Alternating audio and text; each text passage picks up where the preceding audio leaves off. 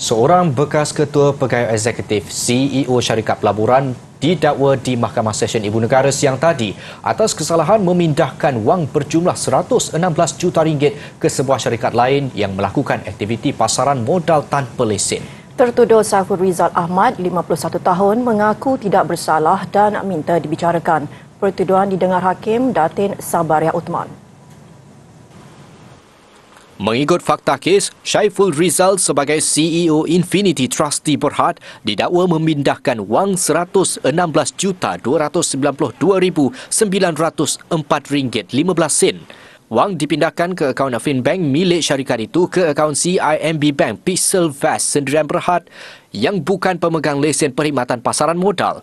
Kesalahan antara 1 Disember 2020 dan 28 Julai 2022 di Afin Bank Berhad Cawangan Petaling Jaya. Manakala pemindahan seterusnya di Alliance Bank Malaysia Berhad Cawangan SS2 Petaling Jaya antara 12 Ogos dan 11 Oktober 2022. Kes disebut kembali 26 Mac dengan sabit kesalahan boleh didenda 10 juta ringgit atau penjara 10 tahun atau kedua-duanya.